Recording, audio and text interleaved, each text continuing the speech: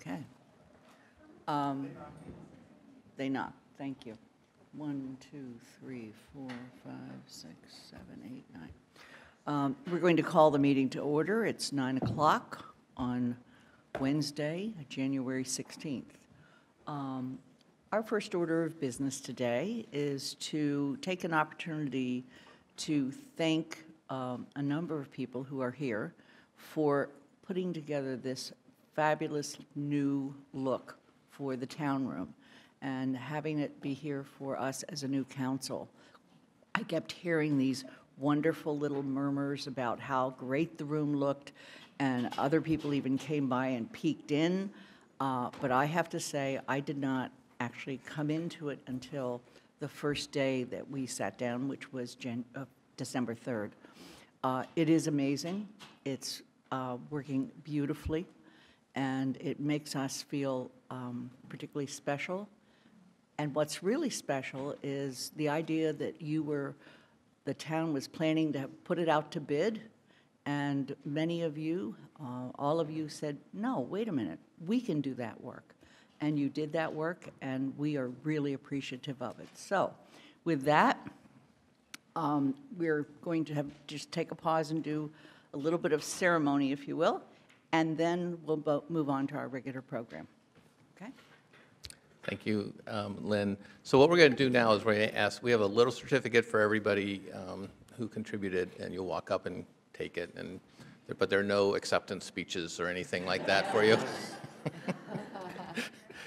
So at the inauguration, I mentioned this story about how um, we were um, looking to reconfigure this room because we were figuring, how do we get a council of 13 into a room and allow enough space for people to uh, participate in? And um, as we struggled through this, I mean, really, Rob Morra came up with the design and the um, sort of layout, and it seems to work. We looked at a lot of other communities that have uh, council meeting rooms, and, uh, you know, they have lots of different models. Sometimes the council is elevated, like they're above everybody, and that wasn't the feel of Amherst, I don't think. So, um, but getting this room into shape was no easy task. Uh, We had to uh, design it and uh, build it, and uh, so it could accommodate 13 people, so they could basically see each other, and also for the public to see them. We had to create the technology so that the- everybody could see and that the public could see. And uh, we had to have this uh, room designed so that we could move forward uh, to, a- towards more paperless uh, operations, so that uh, everybody in the room could see the technology and the people at home could see what the council was looking at. So um, the people that we're going to recognize have worked during the, during the workday, but in addition to their normal working duties, but many came in on nights and weekends as well. So, so we're going to start with DPW. So I want to call up our carpenters, Daryl Hager Everett Bergman, if they're not here. I don't think they're going to be here. And then um, uh, Dakota Willis and Andy Cody. Yeah. Huh? Oh. Okay, so, so we, we have a water issue down the street, and that's why some of our folks aren't here. Um, From facilities, Ralph is not here, I don't think. Uh, Oh, Ralph is here, okay, Ralph Hathaway.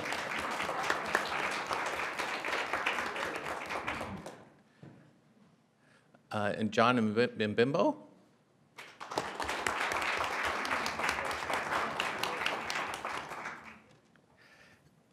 And I know Mary Decker isn't here. I don't think she's here. She's, she's the person who um, is the night custodian for Town Hall, but she was in here every night after the people were working and during the time, and also consulting with us in terms of what would work for her, because she has to take care of the space every day, every day.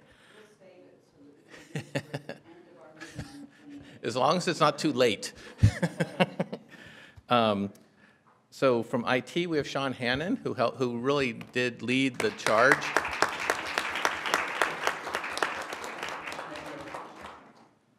Uh, Brianna Sunrid.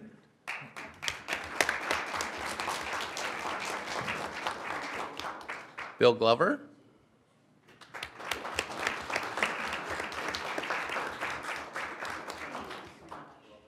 Uh, Mike Warner.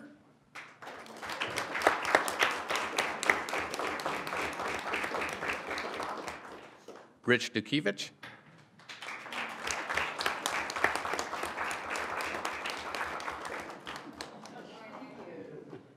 And James Saltis wasn't here, he's here, but he wasn't here to design it, but he saved the day on the first meeting, I think. So James, you get it one too.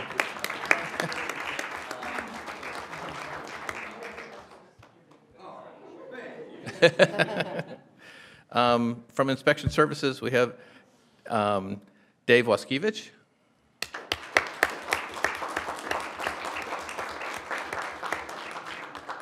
Dave Cody. Is he here? No, not here. John Thompson.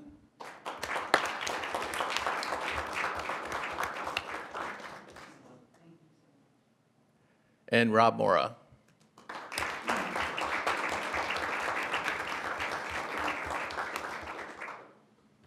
So thank you, and we applaud your efforts here.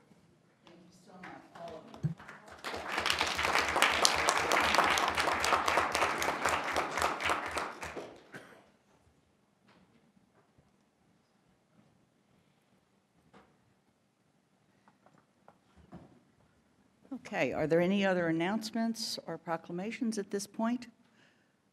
Then we are going to move on. Um, Mr. Bockelman, would you like to introduce the next round of? Yeah, so our next, um, uh, uh, we're going to talk about human resources, folks. If you're leaving now, you're going to miss out. Wow, how to clear a room. Um, So we're, we're, um, our next presentation in terms of our orientation is with human resources, and this is a special day uh, for two reasons. One is we have, um, this is the last week for Deb Radway, our long-term uh, Director of Human Resources. Uh, There's going to be an event at noon today. You're all welcome to stop by, and uh, we'll have our more for- sort of formal presentation of, of things to her at that point. Um, so, so that, that's an important thing. And then we also have the Personnel Board here, and I think just turn it over to Deb, who's going to carry forward with her presentation and talk about the H, human, the Personnel Board.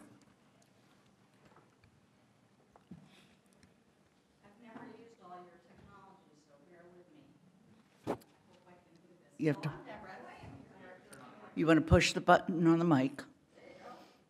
And Tony, the last time I knew you, you were teaching at the university. You.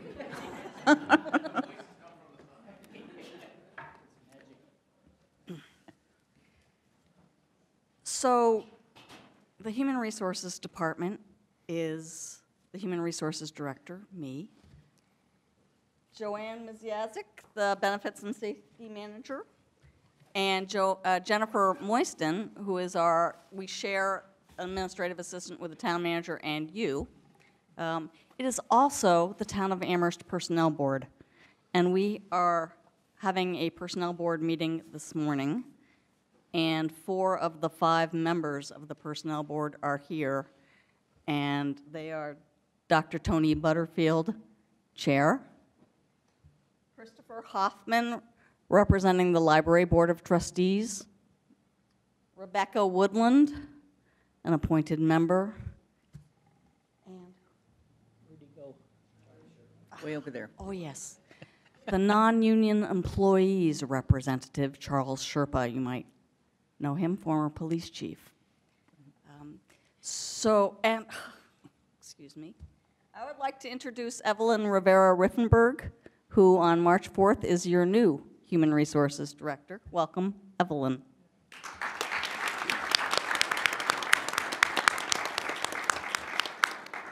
She is here for her first official event. So HR, what do we do?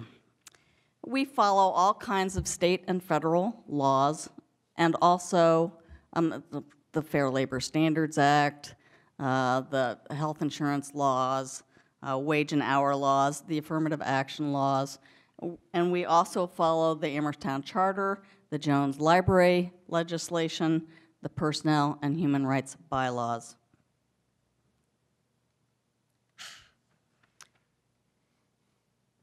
We support all of these activities that you see up here. I'm not going to read them all. Um, But our little two and a half person staff, plus the personnel board, does all of this for the town of Amherst.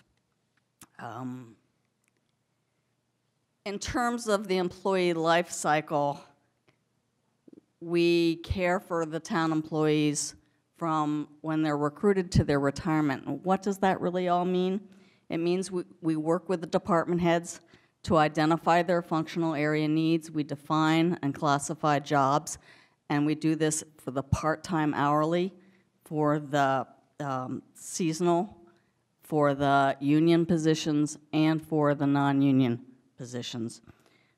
We help develop and implement recruiting strategies and goals for each individual position, all focused on that overall overarching strategy of how do we attract and retain a high-performing workforce that reflects the diversity and the makeup of the community. That's our driving thought when we're looking for new staff. Um, We partner with employees to meet their needs, whether it's orientation, performance evaluations, counselings, talking about um, professional development. We work with them, and we also support retirees. We have 250 retirees in the town of Amherst, and we support them as they transition out and throughout their retirement. We have six collective bargaining agreements in the town comprising 79% of the full-time staff. Uh, Two in police, police supervisors and police patrol, two in the DPW, DPW supervisors and DPW rank and file, uh, fire union, and the administrative and- and technical staff in the SEIU. We also have 58 non-union employees comprising 21% of the full-time staff. They are confidential, professional, and managerial staff. Uh, The HR department is at the negotiating table for all of the collective bargaining agreements. Um, And uh, we have five agreements that expire next June 30th. We have one settled with fire through um, 2021. We also have four individual employment agreements with the fire chief, the police chief, the library director, and the town manager. One of the things that the HR department and the personnel board have set as a major priority is professional development.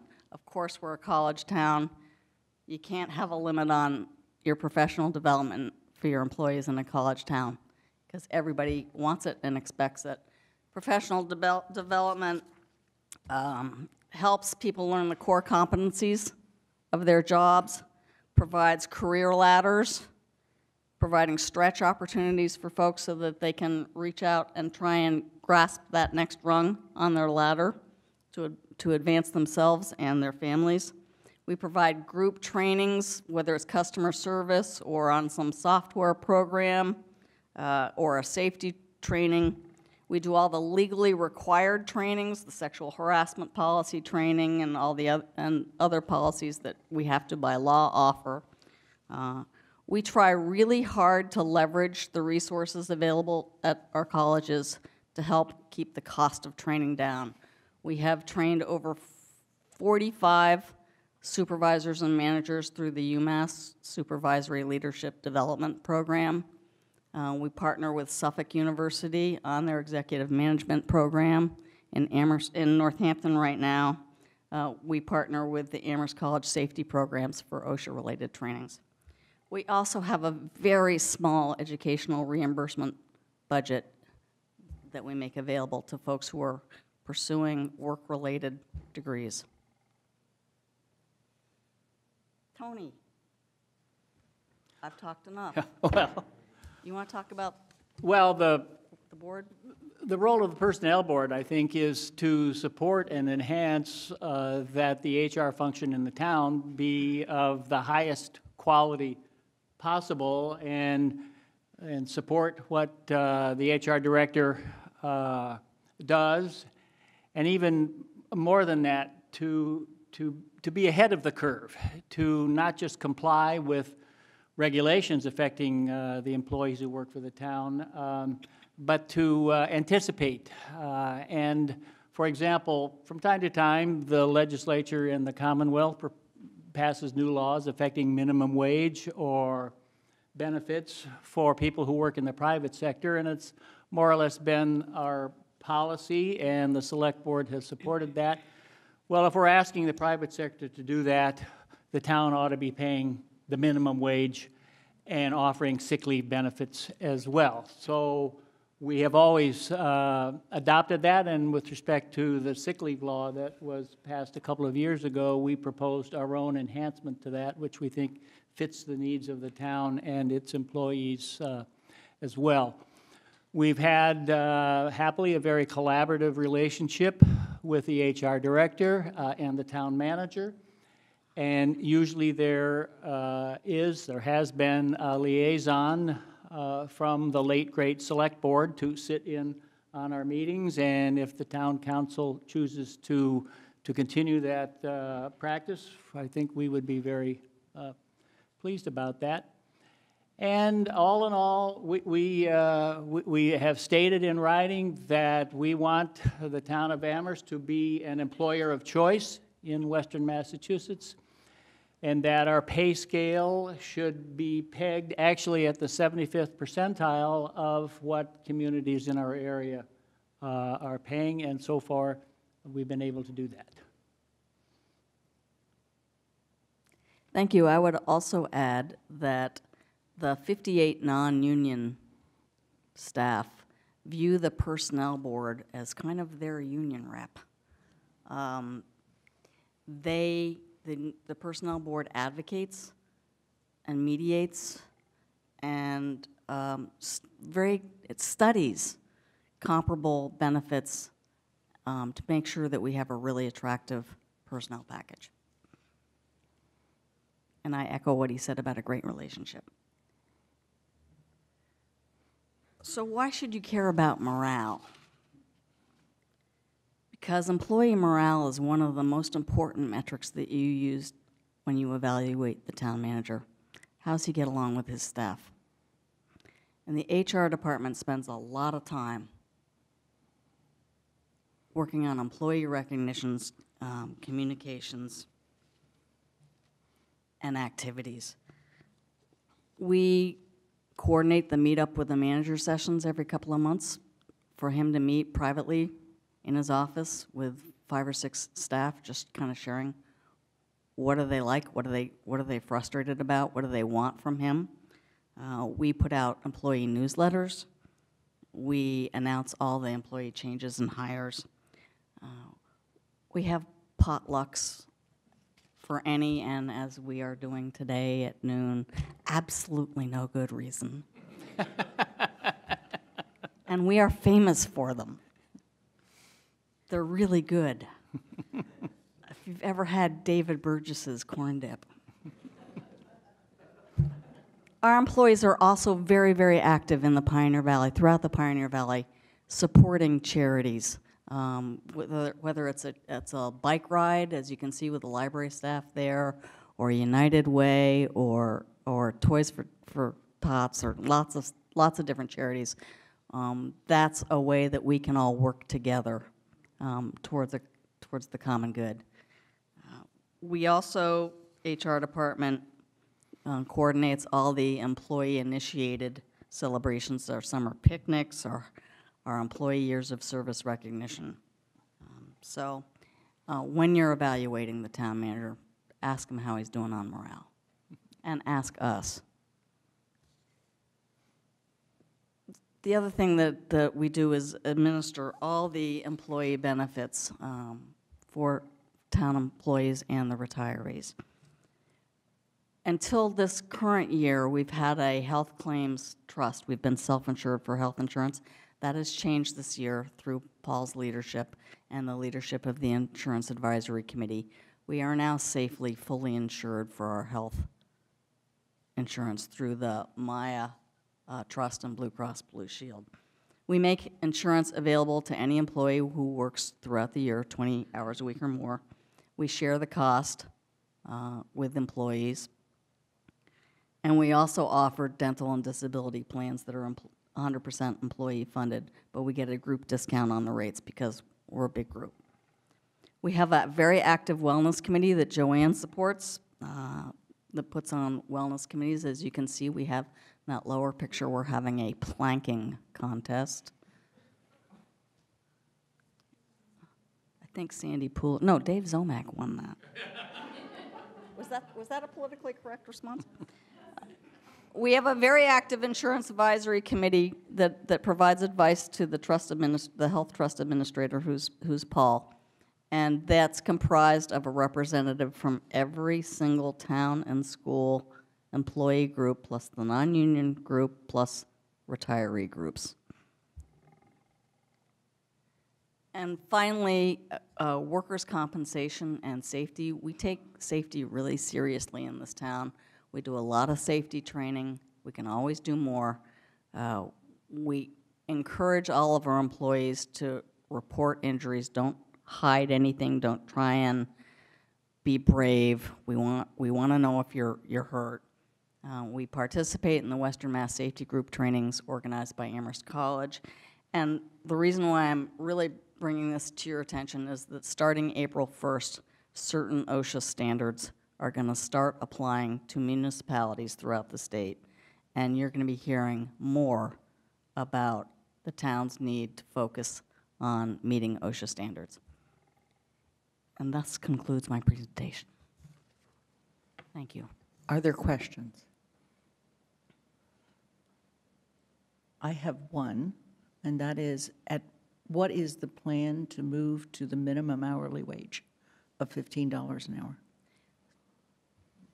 Good question. The state has, eh, through the grand bargain legislation that they passed last year, is increasing the minimum wage incrementally, um, 75 cents or a dollar every January 1st until 2023, when it's scheduled to go to $15 an hour. Our library and LSSE staffs are the one, there are, those are the departments that are most impacted by this. So we've worked pretty hard with them to try and mitigate the impact, so they look at their staffing models, um, because this is, this, this costs them money, and they gotta manage within it. So 2023 would be the latest to get to $15 an hour. Okay, thank you. Other questions? Yes, Kathy?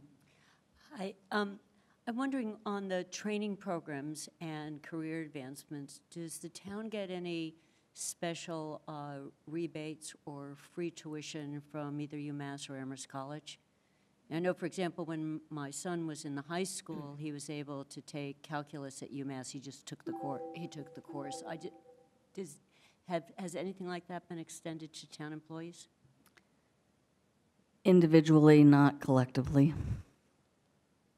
It, it depends on the program, it depends on the individual. Okay. Additional questions? We want to thank you for your many, many years of service. Some of us may see you later, but um, it's particularly terrific to see somebody have enjoyed their job, done what you've done. And we, we hope you enjoy the next phase of your life. Thank you very much, it's been a blast. Thank you.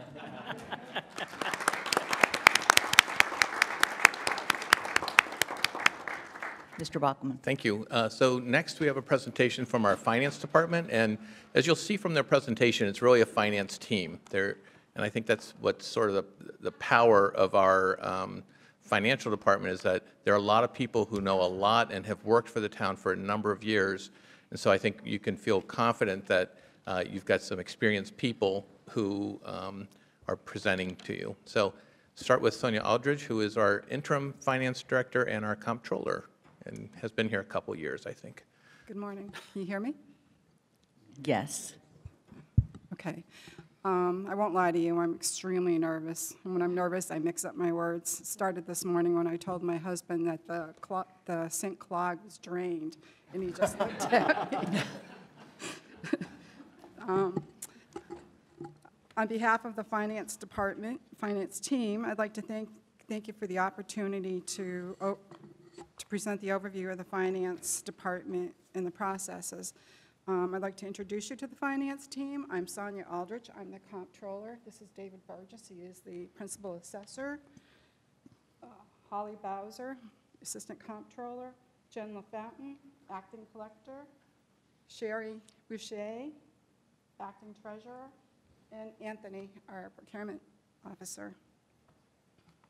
Collectively, the five of us, not including Anthony, we've been here 132 years, so you have 132 years of experience sitting here. I've been here for 32 years myself. I started in the collector's office in 1987 and transferred to the accounting department in, in August of that same year. I worked my way up the ladder, and I've been in this position for 20 years.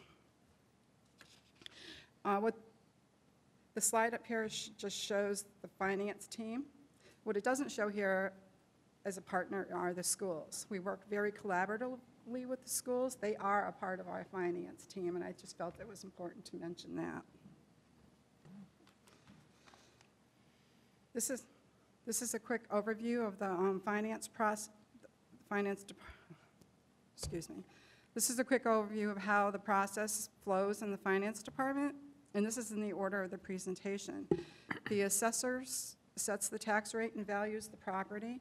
The collector sends bills and receives the payments. The treasurer deposits and invests the money. Accounting monitors, controls, and pays the bills.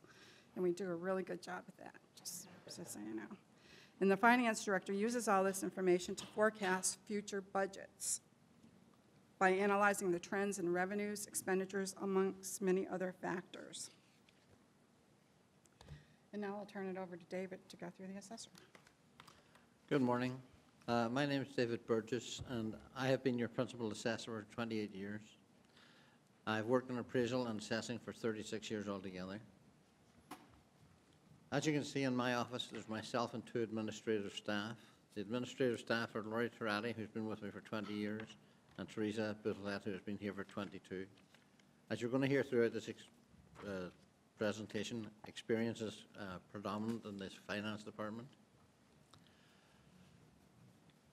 The major, uh, we have the assessor's duties listed on the uh, board above you. Um, I'm not going to touch on them all. The major duty of the assessing office is to fairly and equitably value all the real estate and personal property in the town of Amherst every year for tax purposes. For the real estate, this means that we are going to compare the properties that have sold in the prior calendar year to our assessed valuations to see what level we are at. We are required to be at a level of ten percent of market value, plus or minus by the Department of Revenue, and we do that every year. Every fifth year, uh, we put up with the arduous uh, attention of the Department of Revenue when they come in to certify our values. Uh, Through a lengthy process, they will come in every, as I say, fifth year. It used to be every third year up until 9 2018. Uh, And they certify that we were within market value of state guidelines of the 10%. The assessor will meet with you all again uh, once, every fall. Uh, You will be helping us set with classification hearing, at which time we will determine if we're going to have one or two uh, tax rates for commercial, industrial, and residential. Um, At this meeting, we will advise you what the levy limit is, that the amount of money we're going to have, and the tax rate. I will mention the uh, tax, the levy limit calculation later as another part of this presentation when we talk about Proposition two and a half. Our other duties include the processing of motor vehicle excise bills, the calculation of the bid bills, processing all personal exemptions for seniors, veterans, blind, and surviving spouses. The assessing department also covers the town of Pelham. We have an agreement with them, and we've been working with them for about eight years. Uh, We uh, do all of the same duties for the town of Pelham, and one of my staff uh, works with the collector's office covering the central counter. The principal assessor, that's me, uh, we, uh, I staff the Board of Assessors who meet once a month uh, uh, regularly, and they are the signing authority for all our, we do. With that in mind, I'm going to turn this over now to Jen Fountain. She is our collector, and she will give you an overview of the collections. Good morning. Good morning. I'm Jennifer LaFountain, Could you, I'm, could you lean more into the mic, thanks? sure, um, is that you. better? Yeah. Okay. So I'm the acting collector, and I've been with the town for almost 20 years. I began part-time um, in the collector's office and working Saturdays at the landfill, weighing in trucks and taking money for disposal, um, until my position became full-time in, in the collector's office. Um, I've, I put myself through UMass Isenberg part-time until I completed my bachelor's degree in business management while working full-time with the town. Along with me, there's just over two and a half other personnel in the collector's office. Cindy's been with the town 31 and a half years. Susan's been with us 22 years, and Christina's been with us at our front counter since November. The collector portion of our department is responsible for issuing most of the town's billing. We are heavily regulated by Massachusetts general law for the majority of it. All of our billing is processed and managed in-house, and it's truly a group effort to generate and mail it all in a timely manner. We work in collaboration with the assessor's office for our tax billing, the real estate, and excise tax. We rely on and work with other departments to provide information to create the bills listed here under other billing. The collector's office is responsible for more than just the bills, though. We are the first point of contact when entering the town hall. Um, We help people find the area that they need to be at, whether it's for a license for um, a marriage license or uh, inspections permit. Um, Four of the staff, and one of them being from the assessor's office, staff our central service counter in addition to their other office duties, ensuring a pleasant experience when visitors come to town hall. Parking permits are issued at our front counter, and we assist people with appeal information when looking to contest a ticket. I also provide in-person hearings the first Friday morning of each month. Timely billing and posting of payments is also very important. Not only is it regulated by Mass General Law, it maintains a constant revenue stream for the town. The collector creates a deposit to be turned over to the treasurer, which then gets posted to the general ledger and accounting. The treasurer and collector also work together whenever property tax bills remain unpaid. So I'm going to turn it over now to Sherry Boucher, our acting treasurer. Morning.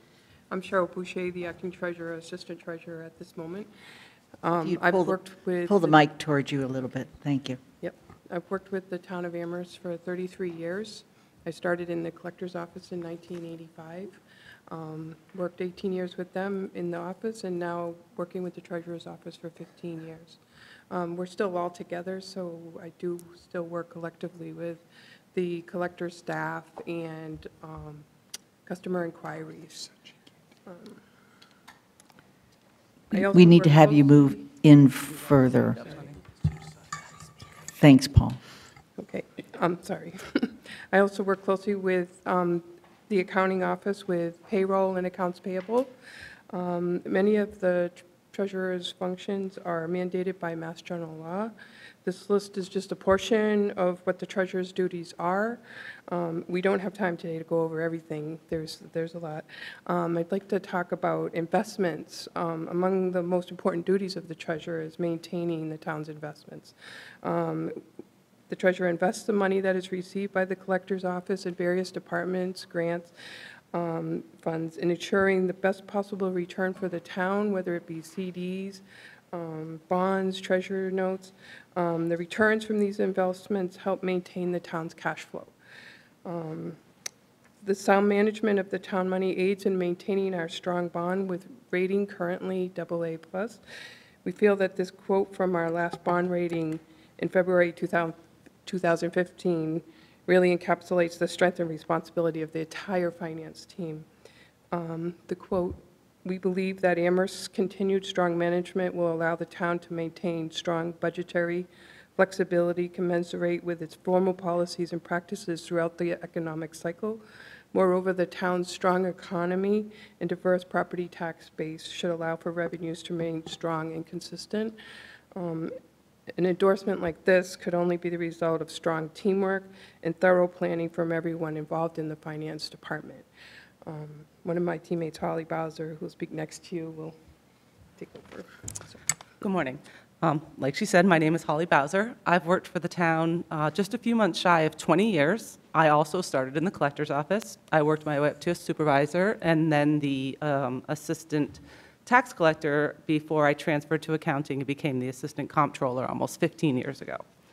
Um, This slide shows our organizational chart in our office. We have five full-time employees. Sonia, the comptroller, who you heard about earlier, myself, assistant comptroller. Teresa, our payroll and benefits um, coordinator, has been with the town 30 years. Kim, our accounts payable clerk, has been with the town for 22 years. And finally, our procurement officer, Anthony, has been with the, with us for about a year and a half. He has also shared with the schools and the enterprise funds um, as well to do their procurements. And he's sitting here helping us this morning. He doesn't have a speaking part, but he was very, very integral in putting this presentation together and the slides together, so we want to thank him. So now we're going to go into a little bit about what we do. Um, Again, we have many responsibilities in the accounting office. I- I'm just going to highlight a few today.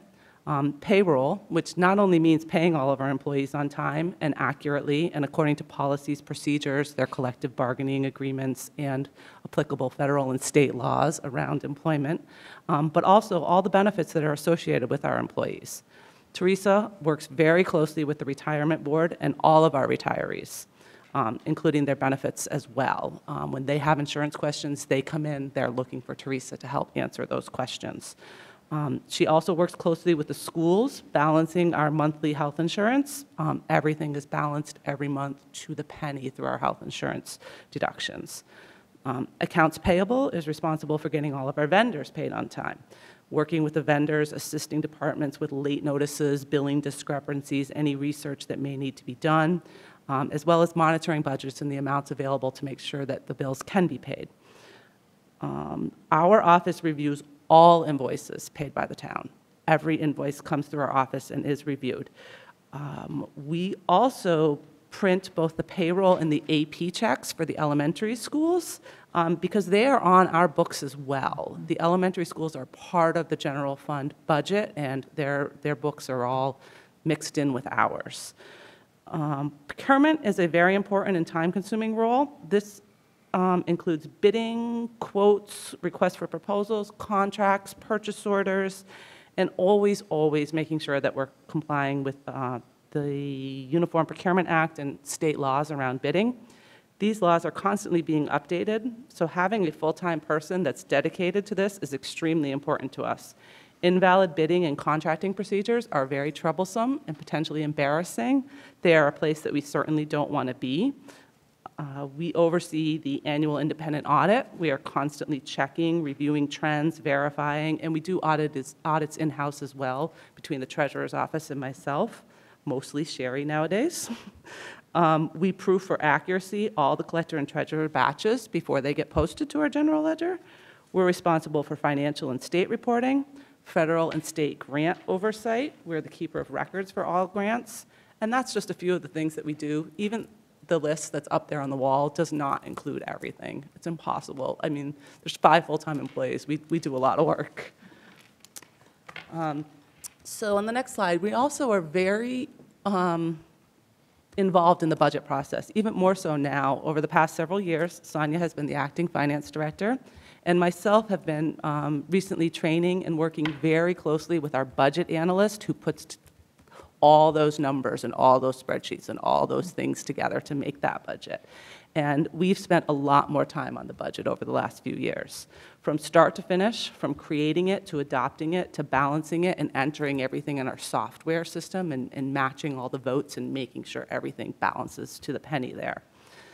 Um, and then there's the everyday budgetary control, monitoring of the town's budget. We provide monthly budget reports to departments. We work and assist all the departments on their individual um, budgets as well as the overall budget. Um, There is barely a day that goes by that one of us is not thinking about the budget in some fashion. It's on our minds all the time. Um, We also provide staff assistance to the Community Preservation Act Committee, the Finance Committee, and the Joint Capital Planning Committee. And I'm going to turn it back over to Sonia to now go over part of that budget process. Is this on still? Yeah, okay. This is a flow chart of our budgeting process. A very wise man once said, "There's seven steps to a good budget process," and I'll give you a hint, he used to work here. Um, Forecast, allocate, meet and refine. Meet and refine is where we're at today in the process for fiscal year '20. Finalize, present, that would be the town manager's purview, and then adopt would be the council's role, and then monitor, which is, goes back to the comptroller role. This is a condensed version of the projection sheet included in the indicators report presented to the four boards in October, last October.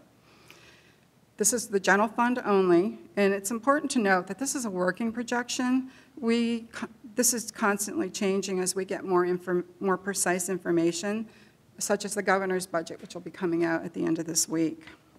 There's two sections to this projection, revenues and expenditures. We're going to start with the revenues. There's four categories in revenues: property tax, local receipts, state aid, and other financing sources. This is a pie chart. It's a nice visual um, to see the four categories and their percentages. Slide. As you can see, property tax is the largest slice of the pie at 65%.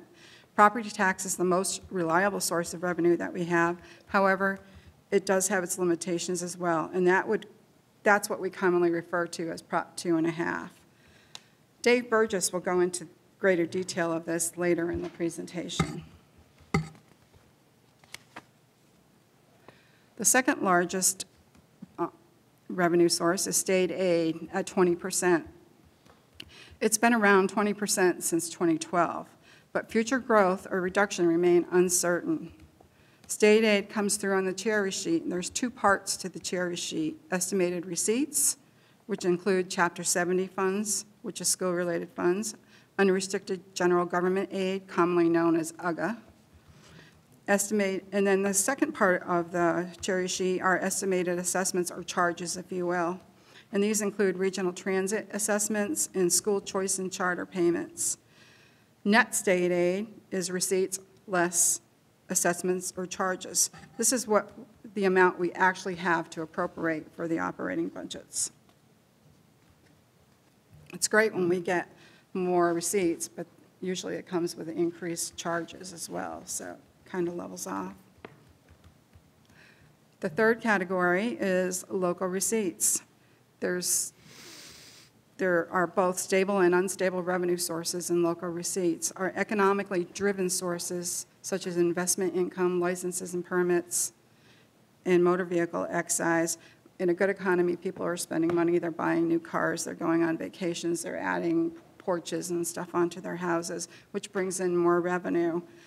In a slower, sluggish economy, that revenue tends to go down. Our reliable sources are municipal fees and charges, fines, rental income, or penalties and interest. Excuse, stuck here. The final category is other financing sources. This includes free cash and stabilization fund, transfer some other funds as ambulance receipts. We use ambulance receipts to help support our public safety operating budget, overlay surplus, and I'll get into that a little more later on in the thing. And our administrative overhead, our enterprise funds pay an administrative fee to the general fund. Back to our projection. We'll now focus on the expenditures. This is also in four categories. Operating budgets, capital budget, which includes debt payment, debt service payments, fixed miscellane- miscellaneous costs, and unappropriated uses. Again, the pie chart to show a visual. The largest expense in our, in our budget is to the operating budgets, the town and school elementary operating budgets, the region assessment that we pay, and library tax support. Each budget includes operating, salaries, operating expenses, and health insurance benefits.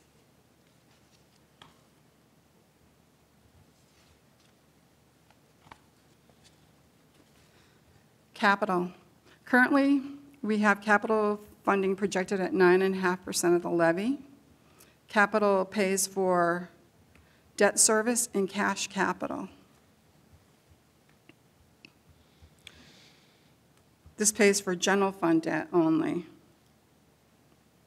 in what we call cash capital. And cash capital is the, um, we take 9.5% of the tax levy, and then we pay our debt service, and what's left is what we can actually pay cash for, for capital. So if our debt goes up, our cash capital is going to go down. In addition to the, to the above allocation, we can issue bonds, use reserves, state and federal grants such as, such as Chapter 90 pays for road repairs, and ambulance receipts have been used to buy ambulances and medical equipment.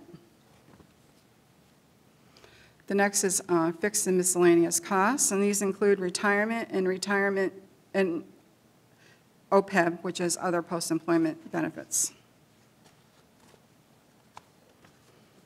Final category is um, unappropriated costs, and these include state assessments we talked about earlier from the cherry sheet, reserves for abatements and exemptions, otherwise known as overlay. And we are, we're required to raise between 1% and 3% of the tax levy to set aside to pay for abatements and exemptions, and also our tax work-off people get paid from that.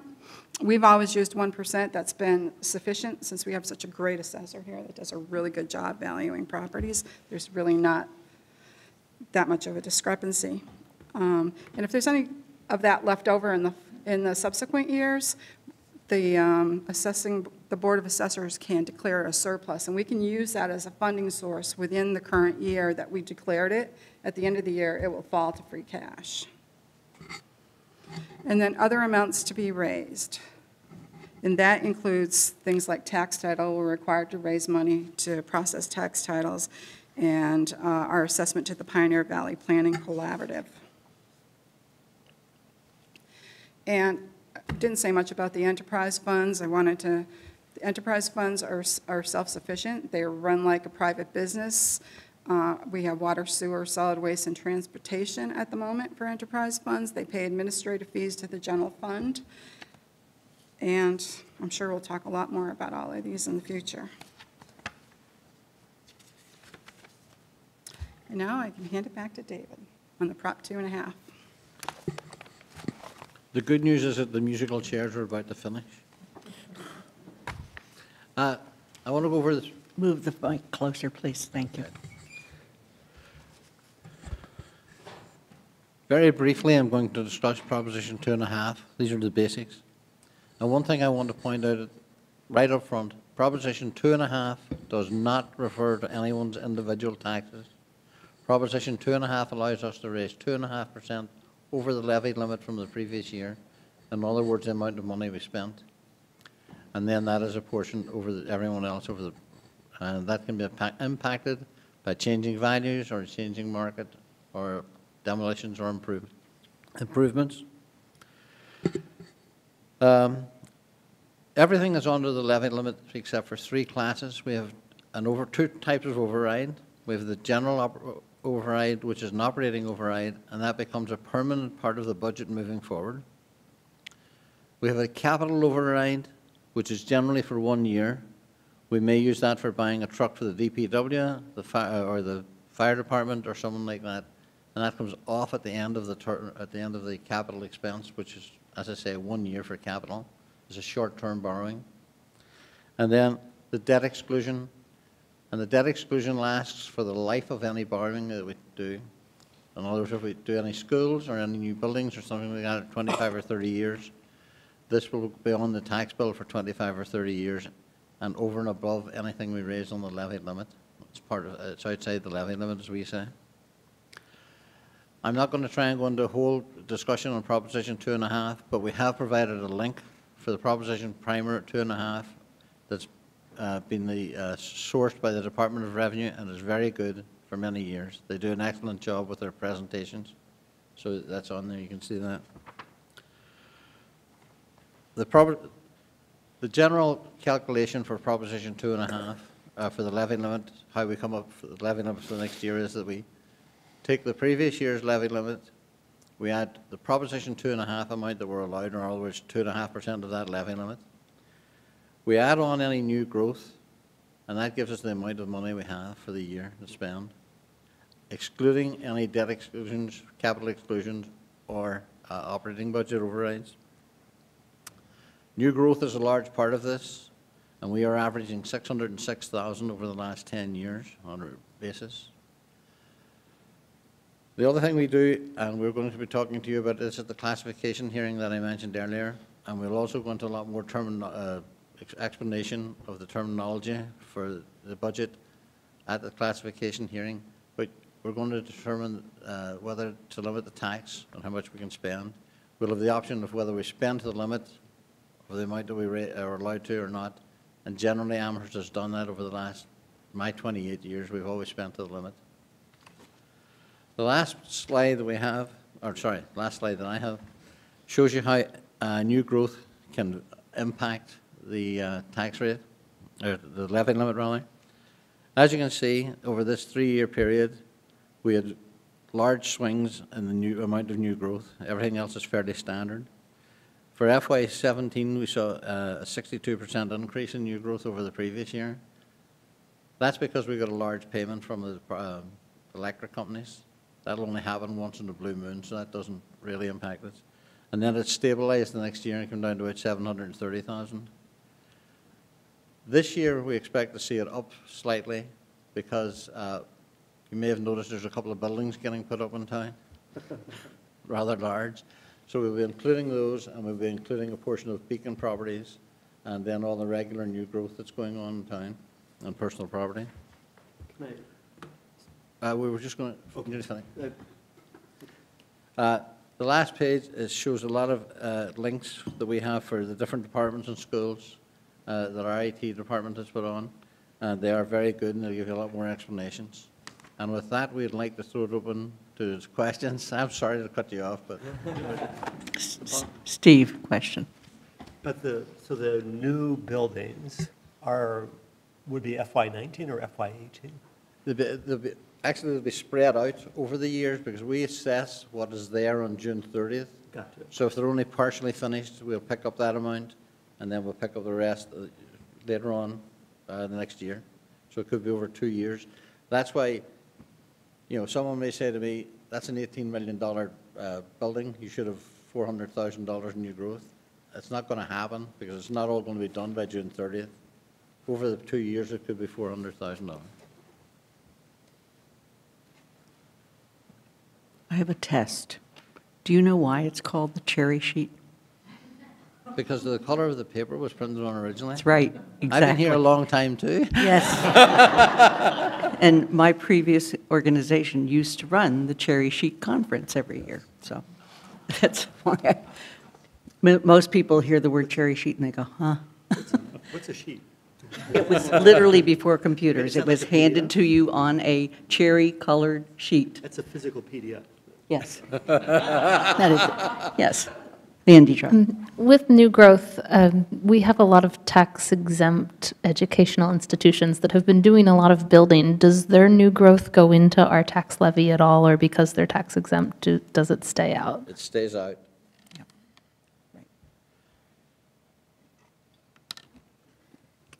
Andy. Yeah, there's one piece of two and a half you didn't mention, that's the levy ceiling. And uh, uh, where we are in relation to um, how the inflation is going to approach us to the levy ceiling eventually, what that means. All right, uh, what- Mr. Steinberg is uh, referring to, there's a figure, it's called the levy ceiling, quite rightly, and the levy ceiling is two and a half percent of the total valuation of the town, so it changes as the valuation of the town uh, goes up or down, and we do sometimes go down because of deflation. Um, At the moment, our levy ceiling is somewhere about $52 million, and our amount of money we're raising, and this is shooting, to- no, not, hold on just a second. Uh, I was going to say I was shooting blind, but that's not quite true. And we're at uh, For FY ni- uh, '18, we're at $50 million on our levy limit, so we still have about $2 million in taxes that we can play with, 2 or $3 million that we can play with. Our tax rate last year was $21.80. I would expect that it's going to go down a little bit this year, and this is very early news, so the valuations have gone up considerably in the last uh, cycle, so I'm considering that we may raise the valuations. As values go up, the levy ceiling will go up, and the tax rate will come down. This is something I was going to explain in more detail at the tax classification hearing that we do. Uh, Mr. Steinberg and Ms. Brewer are very familiar with it because of the number of times that they've heard me at the meetings. Questions? Probably more than we can anticipate. Yes, Shalini? Are the property taxes from buildings that are rented out considered residential or commercial? Very good question. Massachusetts uh, considers everything that's residential, and that's including the mixed-use buildings that are getting built at the moment. The upper floors that are all residential will be valued as residential property. The lower levels will be valued as commercial property. And that, again, is one of the things, and I'm not quite sure, I keep saying the full council, I don't know if it's going to be the full council or the finance committee that decides uh, when we meet.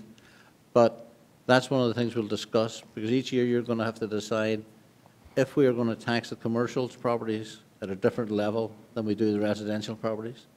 And we haven't done that in the past because we only run about 10% commercial. There's very little commercial valuation. But hotels, sorry, hotels are considered commercial, apartment complexes are not. Okay, thank you.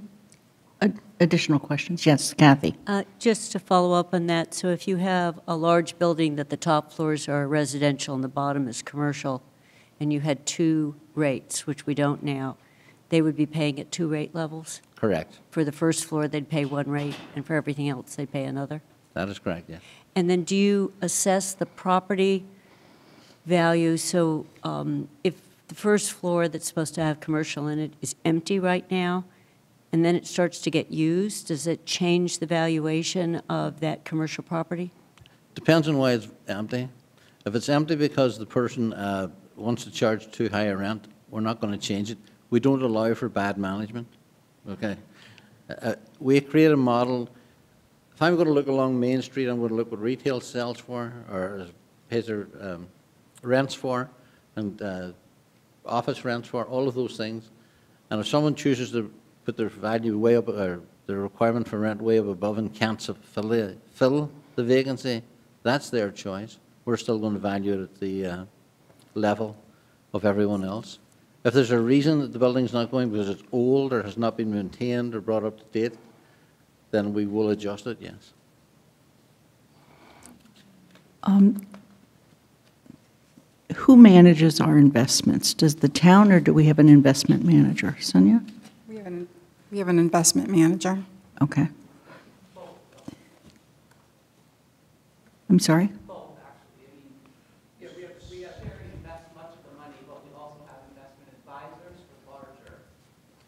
Okay.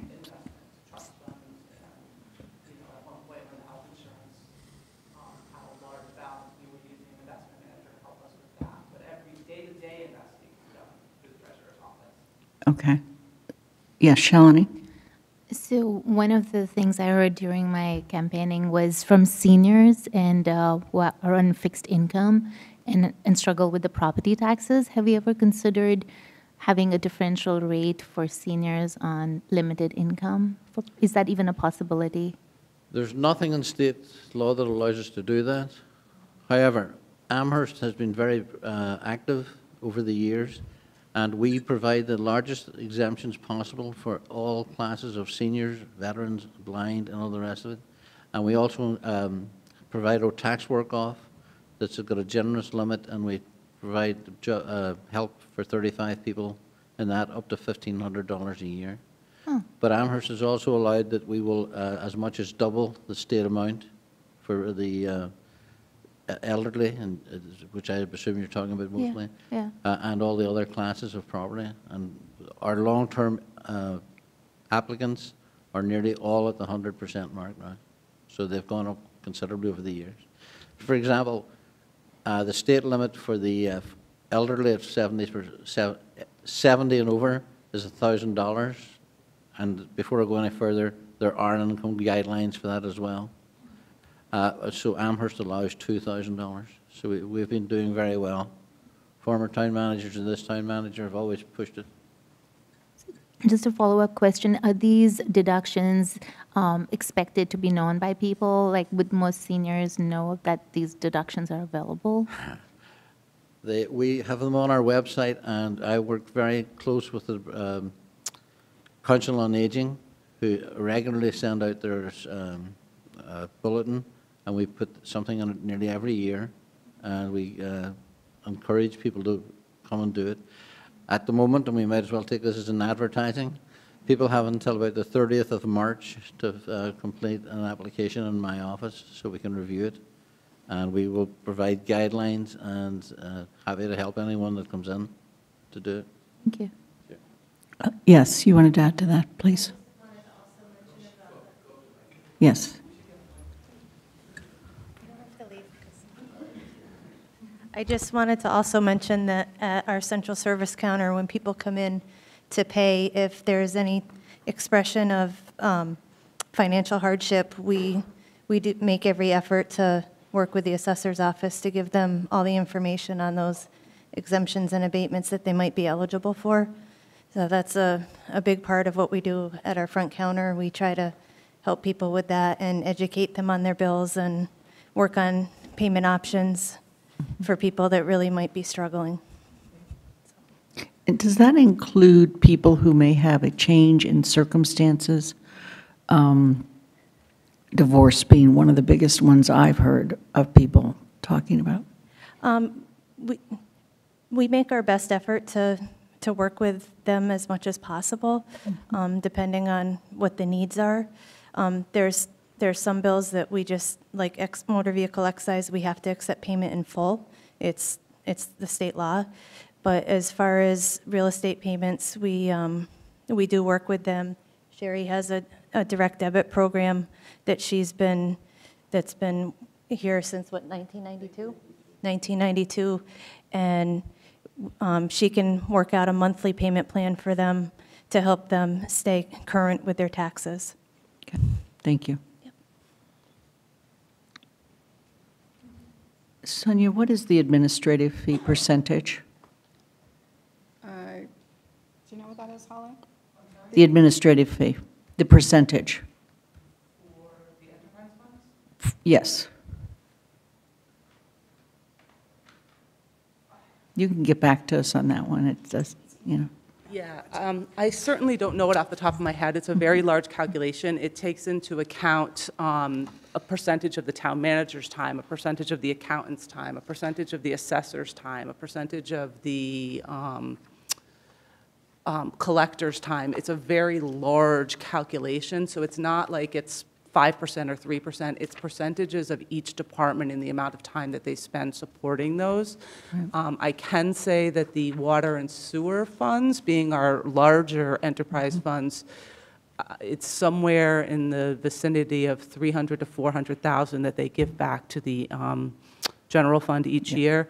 And with the parking enterprise fund, which is much smaller, it's somewhere in the vicinity of about 100 to 150,000 dollars a year that they give back. But it's a, it's a very complicated calculation. It's not just a straight percent. And is, is it federally negotiated, or? It is not. It is a policy and procedure that we have had in place for quite some time. um, You know, again, based on the amount of time that different departments spend working in those funds. And some people are directly um, allocated to an enterprise Yes. fund, so, you know, we have to take that into consideration, too. Great, thank you. Yes, Sonia? And I just want to point out that it is in the budget book in all of the enterprise funds. It shows the administrative fee and where the, what the calculation is, and it's many different percentages depending on, on what it is in here, but it's all right there in the budget Okay, book. thank you. Shalini? Um, So for um, major improvement what are, what is the criteria for deciding how to prioritize? And For example, if a bridge was broken down, what, you know, how would you decide whether that's a priority and where would the funding come from when it's not expected? Deciding the priority is not my job. That's the town manager's job and the council's job. So I, I wouldn't do that. Um, They would come to me after the fact to see what is the best way to fund that, and I would do some research and get back to them. Okay. And, and the funding for that would come out of, that would also be determined by the town council and town manager, or? It would be determined by the council and town manager with my advice, yes. Additional questions? Yes, uh, Darcy?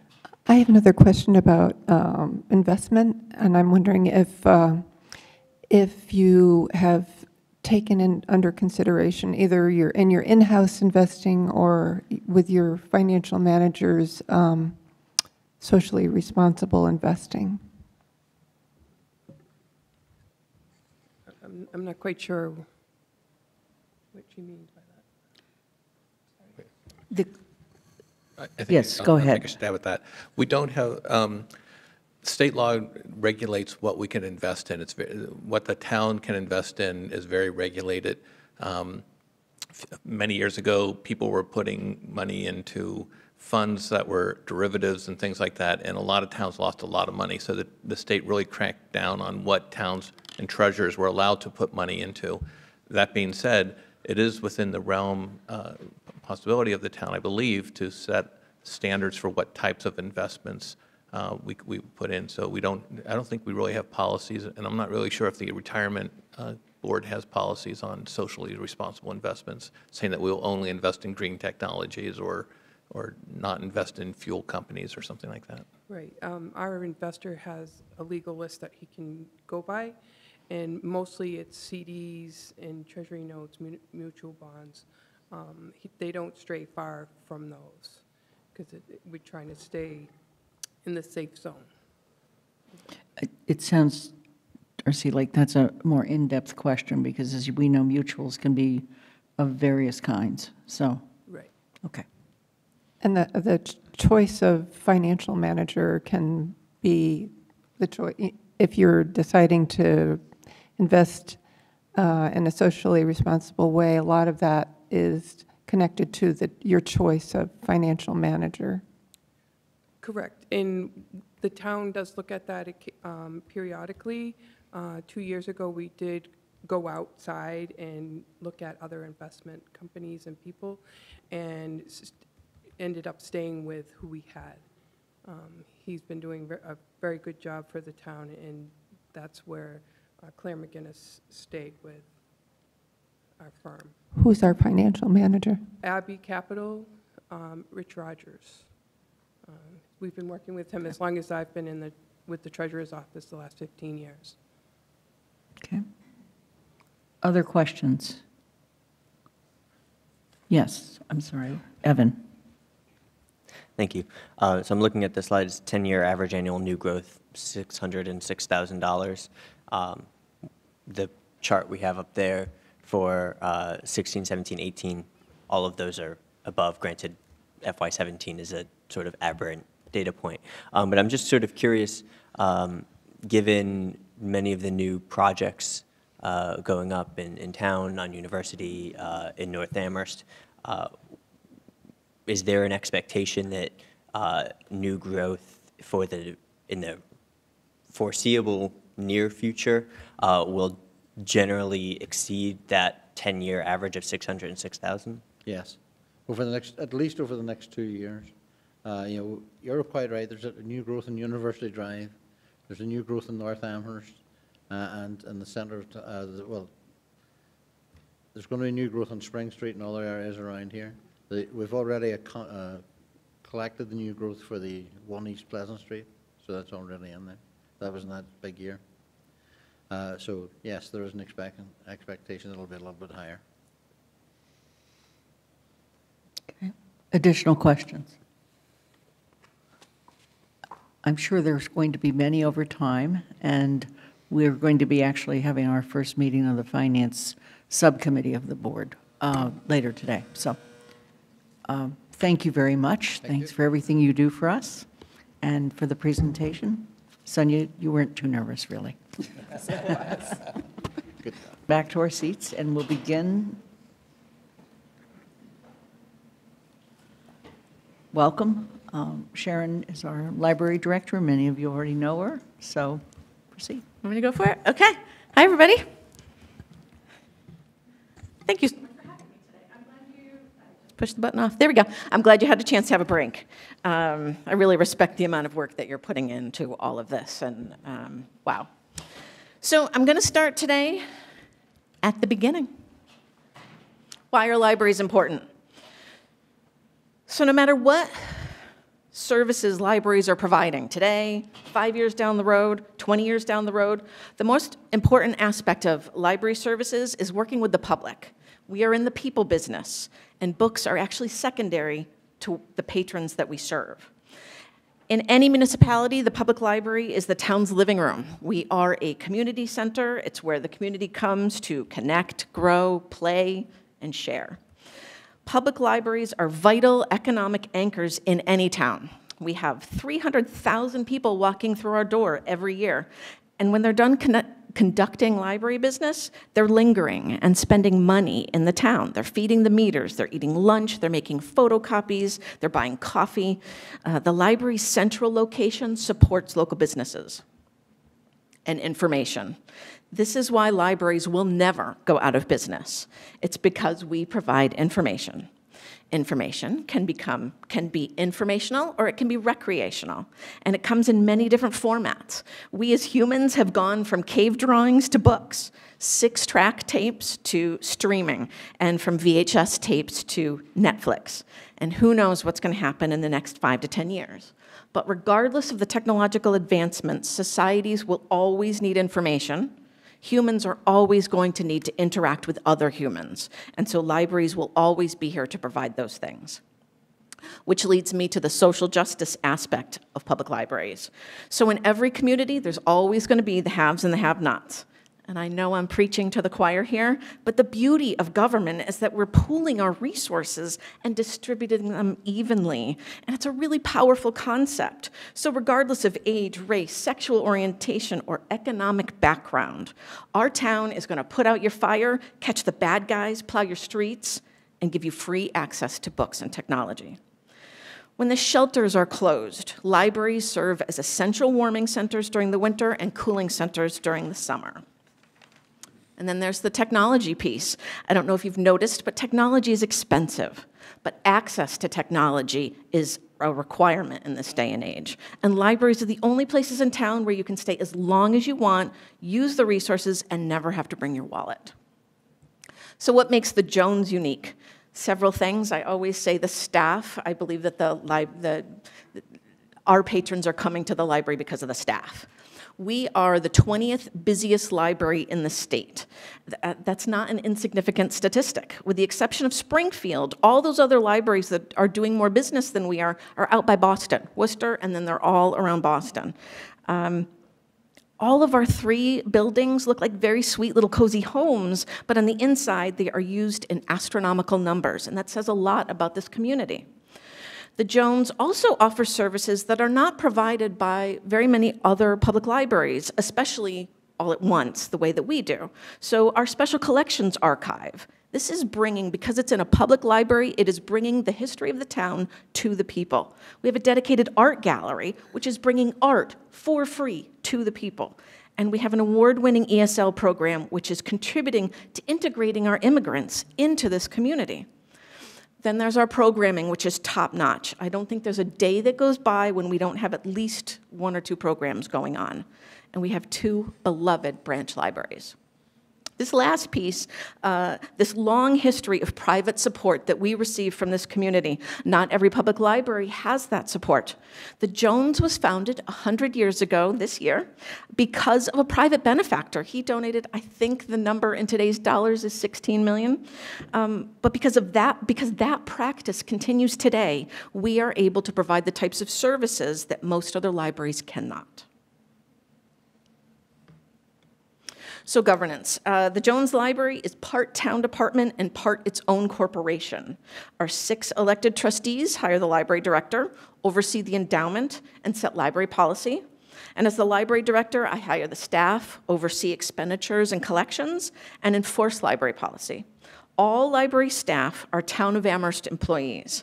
Uh, and I wanted to also note that every every other town department helps the library. So everybody that you just spoke with works with the library. Uh, you know, accounting, the town manager's office, HR, all all uh, library staff are hired through HR. Leisure services, the senior center, and I'm going to leave people out. The health, the health. Um, uh, yeah, department, thank you. Uh, police, fire, DPW, uh, we are all, um, the library is supported by all of these departments. The buildings, on the other hand, this, this is where things get a little complicated. Um, are, I get a lot of questions about this. So the Jones Library trustees own the Jones Building and the property that it sits on. Library staff manage the daily cleaning of the building and the grounds. The North Amherst Library, on the other hand, is owned by the town of Amherst and the property it sits on. The, the library trustees do not pay rent there. Library staff are responsible for cleaning the North Amherst Library, and both the library staff and town staff work together to maintain the grounds. And then there's the Munson Library building, which is owned by the town of Amherst. The library pays rent annually to the town of Amherst in order to be able to offer library services there. The town staff are responsible for the daily cleaning and the grounds. Okay. Next, I want to talk a bit about trends in holdings and circulation. Uh, the four charts you see on the screen mimic nationwide trends, and they tell part of a story. So on the left, you see the number of physical books. Brianna. Oh, oh, I have to hold it. Okay, so here. So this is the number of physical books owned by the Jones Library System, which has decreased. But the size of our e-content, the, the collection size, has increased exponentially. On the right, you can see that the circulation of our physical books has decreased, but the circulation of our e-content has e- increased exponentially. So there are lots of reasons why the nationwide, uh, for the nationwide decline of print book usage. Uh, certainly, our Google machines have contributed to this decline, as well as budget cuts. Public libraries across the country have not recovered from the 2008 recession. We are all weeding according to industry standards, slowly, methodically, but we are unable to replace those items as quickly because there just isn't enough money. Uh, so there are fewer books on the shelves available for checkout. Technology is another piece of this puzzle. So it is changing at the speed of light right now. Uh, so because of this, libraries are having to purchase the same book in many different formats. So that one John Grisham that we used to buy in regular print and large print, we're also having to buy it on book on CD and playaway and digital. And so it, it's eating up the book budget more quickly. One other point I want to make about the circulation stats uh, has to do with the statistics themselves. So, for all our digital content, we have to run circulation reports. And this content is provided by lots of different vendors. And of course, each vendor reports those statistics differently, which makes it hard for librarians to compile and then analyze the data, because we're not always comparing apples to apples. So, what one vendor calls a view, another vendor is going to call a session. And one session could include dozens of inquiries, but they're not necessarily being counted. So it's an industry-wide problem. There's no easy solution. But the point is, is that people are downloading information that they used to find in books, books that they used to check out. So in many cases, we're not able to track the number of inquiries and clicks that people are, are uh, you know, doing. But these charts do not tell the whole story. So books are making a comeback. I'm not sure they ever went anywhere in Amherst. But according to data from the American Booksellers Association and the Association of American Publishers, the number of bookstores in the United States is on the rise and ebook usage is declining. Hard copy book purchases are growing and sales of ebooks are stagnant. And I have this wonderful quote uh, found in an article titled, Are Ebooks Finally Over? When it comes to travel and convenience, it's hard to beat ebooks. But when it comes to a cozy bookshop visit on a Sunday afternoon, followed by a cup of coffee and your favorite author, nothing beats the real thing. I think that sums up Amherst. Um, Okay. I was recently asked what I thought were the top five most important achievements the library system has accomplished in the seven years I've been here. And certainly one of them has uh, that we've accomplished is the programming explosion uh, that, that we have going on at the library. So the green chart shows the list of all the different programs we held last year.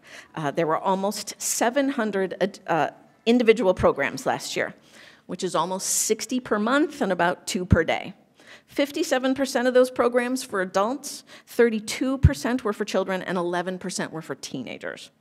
And regarding attendance, almost 15,000 people attended our programs last year. That's 1,250 people per month, or approximately 42 people per day.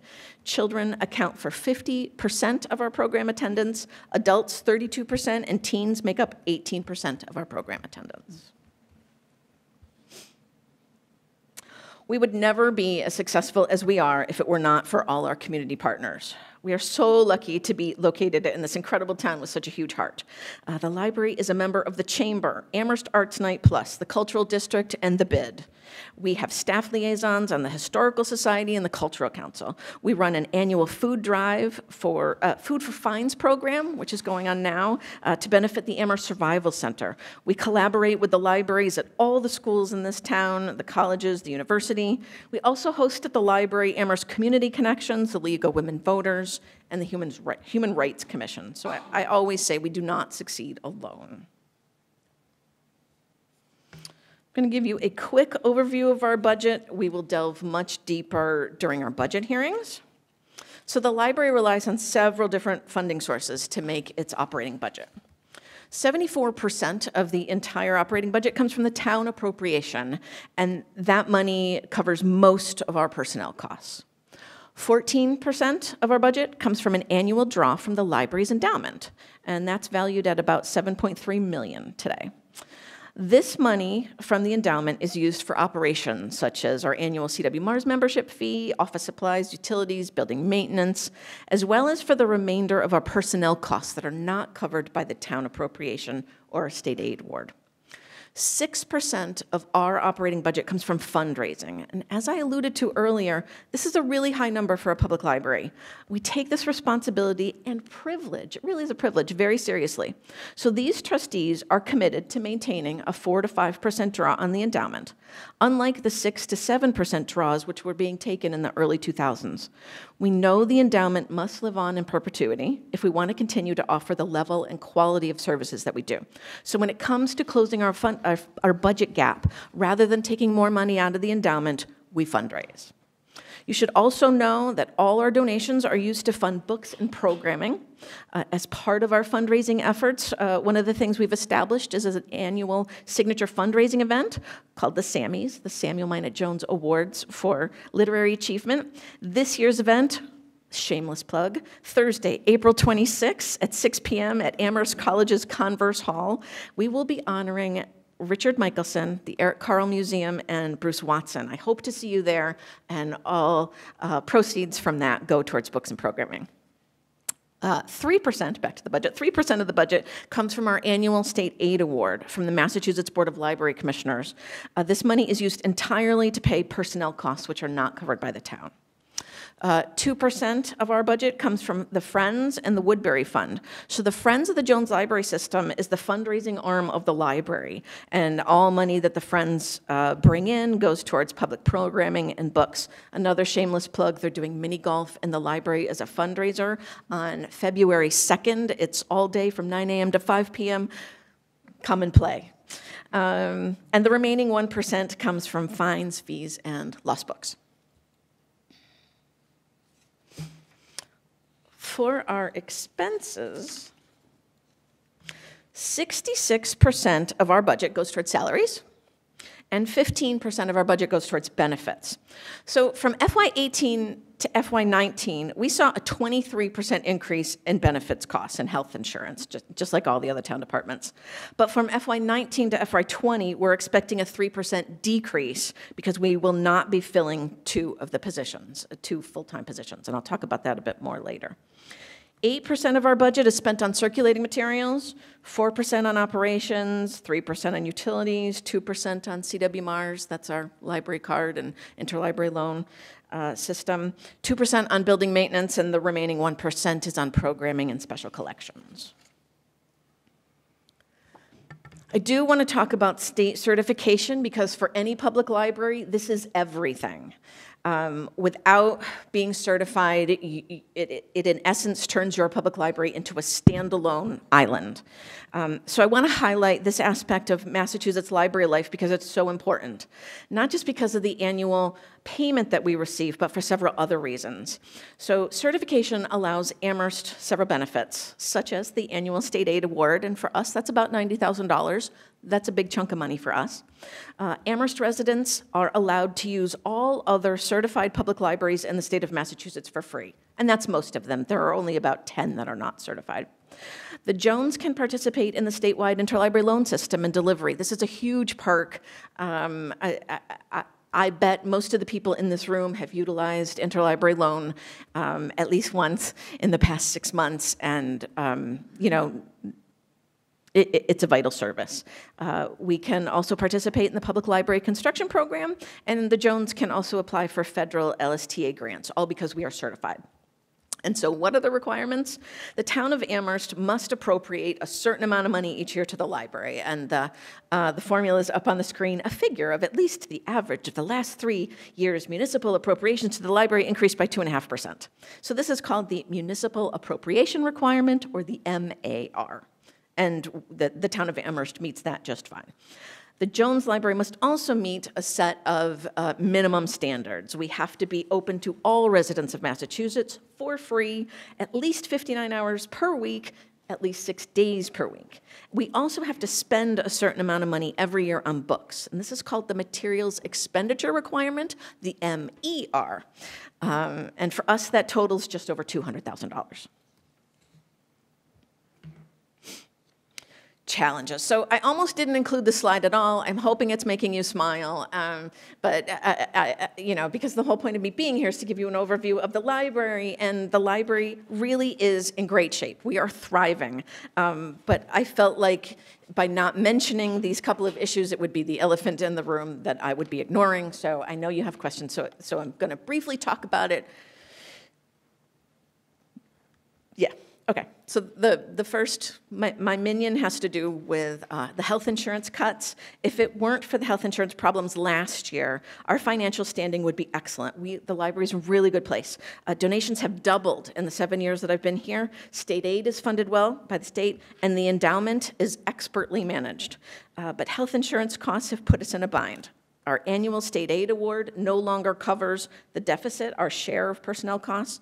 All our reserves have been spent on personnel um, so that we, we are avoiding layoffs at all costs. Um, we've cut programming in half, uh, and instead of layoffs, uh, two people, two full-time folks just retired, and so we are just not filling those positions. Um, but as I've said before, in order to close this gap, we're focusing heavily on fundraising. And then there's our buildings. So as you know, the North Amherst Library building needs a public restroom and handicapped accessibility. It just does. And then there's the Jones.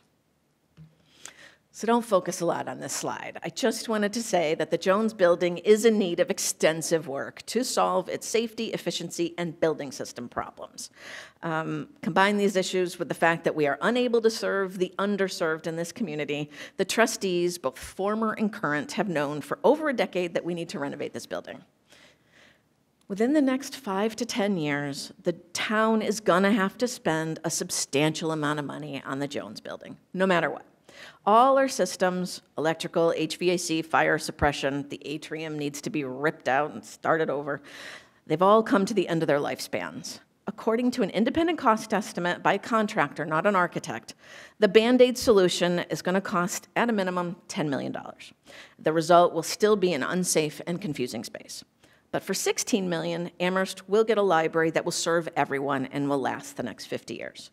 I'm really excited to give you tours of, of the buildings, answer all your questions, and, and to work with you on our capital needs. Which leads me beautifully to advocacy. So, one of the ways in which public libraries across the whole state work to offset local budget cuts is by advocating on regional and state levels, because we know that state aid is local aid. So the Massachusetts Library Association, the Massachusetts Library System, CW Mars, and the Western Massachusetts Library Advocates each help to bring money to libraries through the MBLC in the form of state aid, funding for networks, that's CW Mars, uh, funding for statewide delivery, that's Optima, and funding for public library construction. So library legislative breakfasts are held each year throughout the state so that library staff, trustees, friends, and town councilors can come and advocate for library funding. This year's Hampshire, Franklin, and Worcester District Breakfast, which is Jo Comerford's district, uh, will be held at the Jones. And so I hope each of you will be able to attend if you will be in town. I know you all are exhausted and doing so many things, but it would be really great for our legislators, especially since so many of them are new, for them to see you here there. Um, it really is a wonderful opportunity to advocate for libraries. Uh, that's everything. Thank you. Thank you. Um, very exciting and exuberant. Um, I, I'm not as exhausted as you guys are. I no, I, we were prepped for your exuberance. um, are there questions? And just to comment on this, um, I am not able to attend, but I've already made sure that Mandi Jo will be attending to represent the council. But I urge every one of you to also attend uh, this very important event. Um, Yes, Steve. Hi. So my question isn't specifically about the Jones, but it's about library-ness. So in states that have functioning counties, oftentimes the counties run the libraries, but are there any cases in Massachusetts where there are regional libraries? So you realize you're in New England, right? Uh, So for the same reason, uh, so yes, you're right. It, uh, those county systems work beautifully in the South. Uh, I've been a librarian for almost 30 years now. Uh, I do not see that ever happening in New England, um, and especially in Massachusetts. Uh, and a, a, perfect example of that is all of the communities just in, in Massachusetts who choose to fund branches. So everybody loves their library. They love their community library, and um, I, I, think residents, most residents are library lovers. They see the benefit to it, and they're going to continue to fund their individual libraries. Thank you. Other questions? Um, could you uh, tell? I'm sorry, Kathy. Um, it's, a, it's a question I asked you when you gave me the tour. Thank you very much for the tour. But one of the questions I have is along Steve's line of ways you might pool expenses. And I know what the answer was, but I'd like to probe a little bit more on storage. Um, the amount of the library that's used for storing things that you don't need direct access to.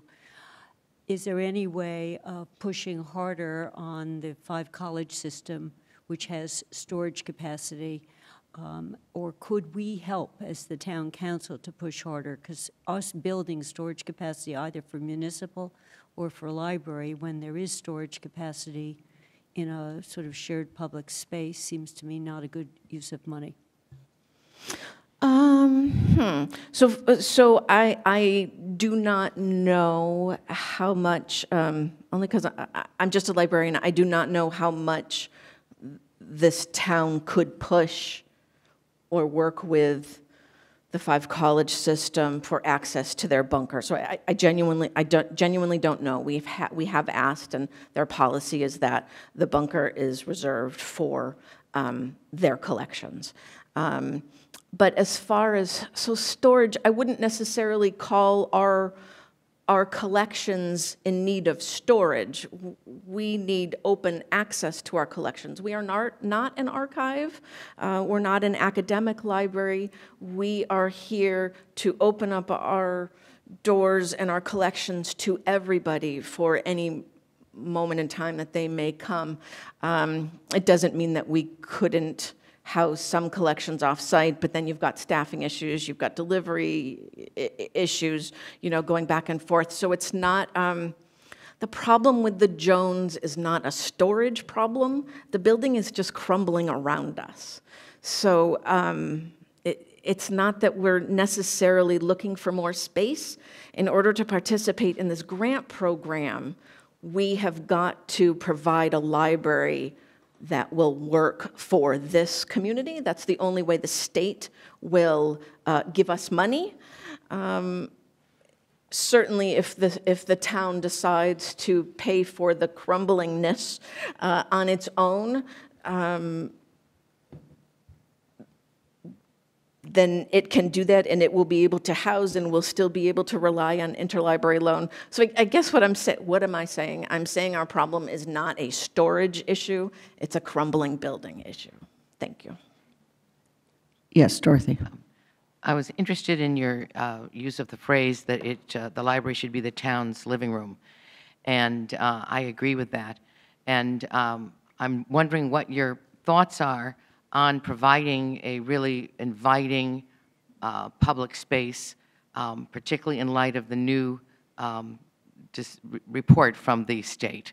Um, I- had kind of liked the idea of a first-floor room with windows and light.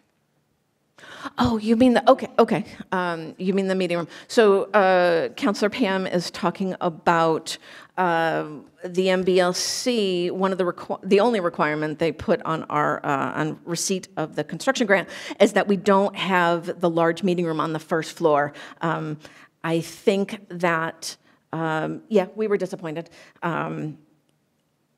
But there was so much going on on the first floor. I do agree with them that something had to give.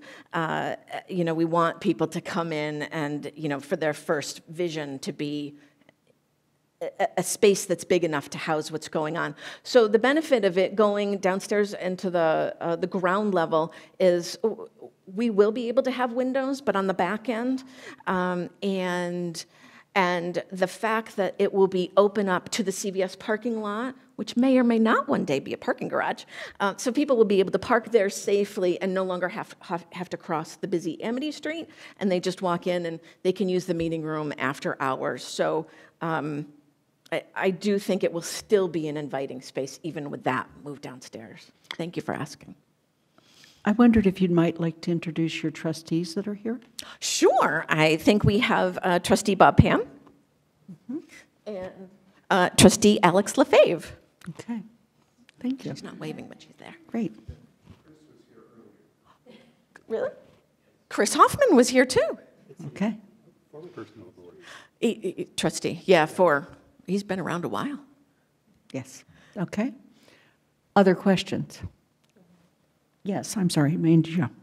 I have two. Um, You talked about a, I'll, I'll- actually, I'll ask the other one first. Um, We're in the MLBC program, and there's a list and all of that, so I was curious and wondering whether you've got an idea of when we might be actually granted the money that the council will then have to potentially deal with.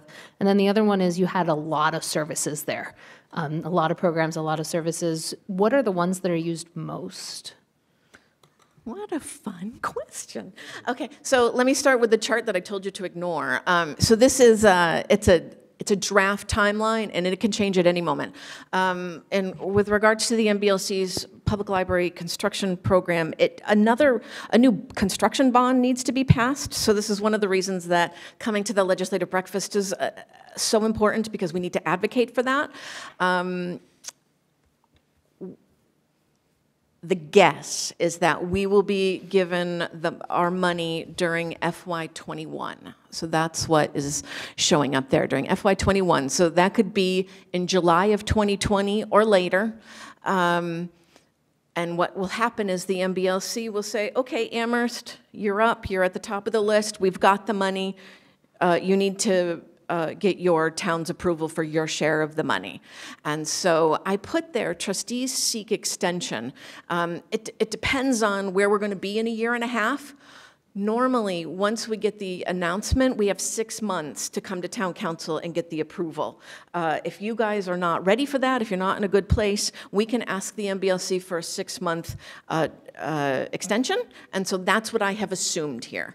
Uh, So which me, would mean in July of '22, as an example. July of '21, which is FY '22, um, we would need to get a commitment from town council for the 15.9. Um, And let's say that happens, that's when design development starts, and we would move into temporary quarters. This is a really important piece of this puzzle, uh, temporary quarters. We're not going to be closed for two years. We, uh, by law, uh, we have to provide all the same library services that we are providing uh, now. Um, So we will be doing that, and we'll be working with the town to find a place to uh, hang out for two years. Um, Construction begins and ends in a couple of years after that. So this is the guess. It could change. If the bond bill doesn't pass, it'll take longer. Um, But there still are, we're fourth on the wait list right now. There are three other projects in front of us. Um, So that's the, the building project. And what services are provide, are, are enjoyed the most? Is that what you were saying? So, um, oh, well, I hope all the staff aren't listening because it's not good to choose your favorites. But um, I, would say the children's room staff, you know, I've always said that in any public library, the heart is the children's room. I mean, that's, that's, you know, that's the activity, that's the action, and there's nothing more cute than all these little kids and books and awesome. Um, so, you know, you've got a lot of families coming to all of these events, and so I, I would say that's the most active, um, followed pretty closely by the adult programs. Um, I think we had, I think according to the slide, I think there were more adult programs, but adult programs tend to attract fewer people. You know, we can have a mu- uh, magician and 150 kids are going to come, um, but we don't have magicians for adults, so fewer people come to their stuff. Other questions? Yes, Kathy? Um, Yeah, I'll, I'll stay with the, the funding issue. Uh, Does the, the 16 million from the town assumes that you're also able to raise a substantial amount of money separately to get to the total? Yes, great question. So under capital campaign, uh, we've already done a feasibility study, and it looks like we can raise 2.9 million. And we'll also be going for historic tax credits uh, uh, for a total of 3.1. So you're exactly right. So um, 15.9, I'm thinking, is the minimum amount we would ask for the town. Um, anything that we raise, this is important, anything that we raise is going to offset that $35.6 million uh, budget. The budget is not going to increase. This is the price tag. It's not going to change. So um, if costs skyrocket, cuts will have to be made. Uh, Does that make sense? Okay, I, so, I was just doing the math of the 35 million minus the 13, and it didn't come to 16. Uh, You've got to raise a substantial amount of money. 2.9, 3.1, and 15.9, it's very possible I screwed that up.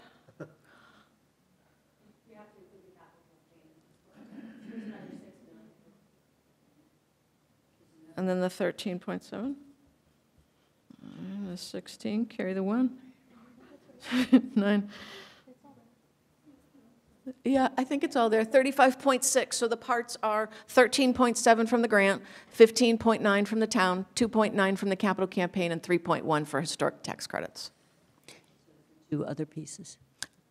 Those four pieces equal 35.6. And does it, does that include the temporary headquarters for you? That is within the budget, yes. And where are you on the capital campaign beyond- besides your feasibility study? Uh, I'm so glad you asked. We start, we are starting up our feasibility committee uh, again tomorrow, and that's one of the things we'll be talking about. Is your timeline for the capital campaign? Yes, Okay. that's one of the things. Okay. Yes, Mandi Jo. So you said the budget number, that 35.6 is not changing, but we all know construction costs are going up. I've heard from previous presentations you've gone that the size of the building really can't change because of um, the library, state library rules. Um, So what gives then? No, that's a great my question. And the, the way the process works, so I, I've only, I've been involved in one other project. I was the library director when we built the Sunderland Library. And so you set the budget, and it's the only downside to the program. You know, if you were at home, you would be able to make adju- adjustments with your own checking account. But um, municipal contracts work very differently. So um, the money will be in a pot, and slowly things change and move on, and change orders are going to happen. There's no such thing as a perfect building project, and costs will go up. Sometimes costs go down.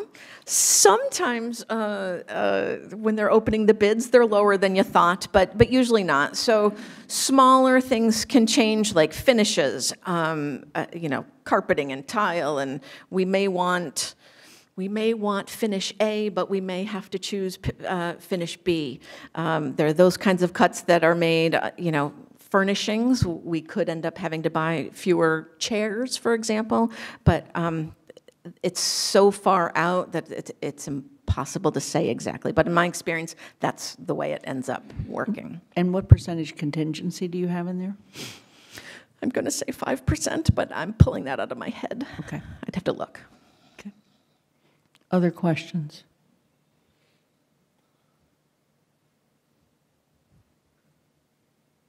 Thank you. Thank you all so much. And we want to thank the trustees for joining you. Uh, We, uh, are there any comments from the council at this time? Okay, then uh, we do have a period for public comment. Is there anybody who would like to make a public comment? Yes. You, I just want to repeat what I always have to, and that is that we invite you to make a public comment. We do not respond.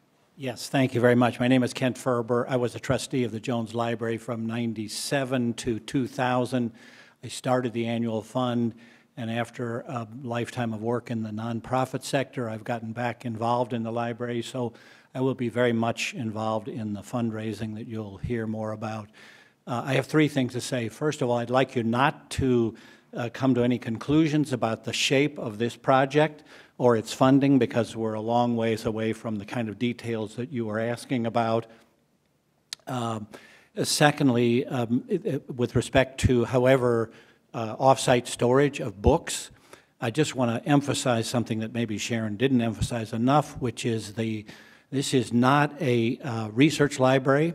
This is a browsing library, and it should stay that way, and this town council should make sure that it stays that way. Our object is to attract people to the library, to see what's there, to enjoy it, and um, not necessarily to provide access to everything on the shelves at all time, but to provide enough on the shelves to justify the visit there. And thirdly, excuse me, you made reference to the exuberance of our director. And I would like to second that and to indicate that that is precisely why I am involved in working with this library, not Sharon's personality so much, and why you should be involved with this library, because as libraries are now in the process of being transformed, we need a different kind of librarian. We need a librarian who isn't a conservator only. We need a librarian who says to this community, this is where you should come to get together and to appreciate and enjoy the legacy that these books bring you. That's a different kind of librarian than maybe we have thought we needed in the past, and we're lucky to have that kind of librarian now. Thank you very much. Thank you. Any other public comment at this time? Um, Let me just mention to the council, uh, I don't know where we stand on the poll, but we are polling in February for another two to four hours to finish off the various educational uh, opportunities uh, that we've been putting together with the town.